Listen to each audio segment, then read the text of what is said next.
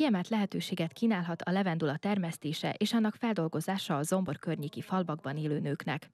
Varga Gulyás Mónika számára azért lenne hasznos ez a terv, mert jó fizetés kiegészítést lát benne. Kicsi falvakról van szó, ahol sok munkanélküli, munkanélküli nő van, és nem csak a szakképzetlensége miatt, hanem szerintem a maga az egész ország helyzete miatt.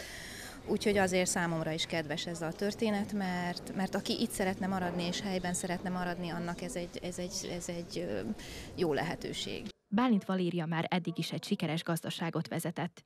A levendula termesztéssel pedig tovább bővíteni azt.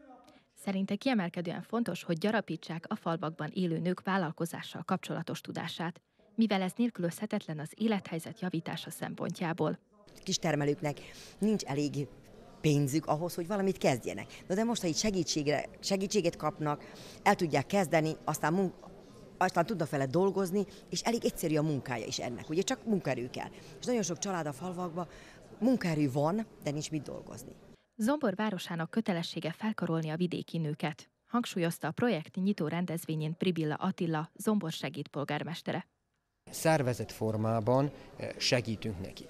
Vagyis először a szociális központtól megkaptuk az ő használóiknak és azoknak a hölgyeknek a nevét, akik például maguk nevelik a gyermekeit, vagy nehezebb sorsúak, hogy lehetőséget adjunk nekik. A Lavangrád civil szervezet megalakulásával a jövőben a vidéki nők is több lehetőséghez juthatnak, szögezte le Attila.